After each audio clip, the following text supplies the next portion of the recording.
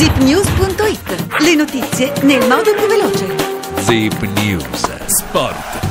Ben ritrovati dalla redazione sportiva in studio Edoardo Paradisi. Apriamo con il calcio al via la quattordicesima giornata di Serie A. Tra poco alle 18.30 in campo il Napoli che ospita l'Empoli alla stessa ora Spezia Udinese alle 20.45 Cremonese Milan. Andando in casa della Juventus Allegri recupera Paredes e Ken ancora parte Vlaovic. L'argentino e l'azzurro si sono allenati con il gruppo e tornano a disposizione per il match di giovedì con il Verona. La MotoGP a Valencia, dove domenica si è deciso il mondiale MotoGP con la vittoria di Bagnaia, primi test verso il 2023. Il campione del mondo ha potuto provare la nuova Ducati, prima da pilota del team ufficiale per Enea Bastianini.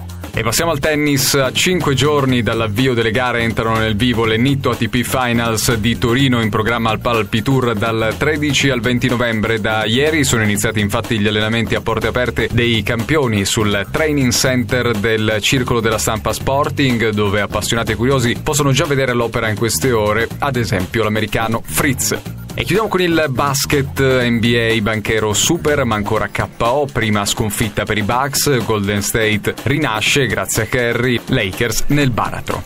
È tutto, grazie per averci ascoltato in regia Rosario Perez.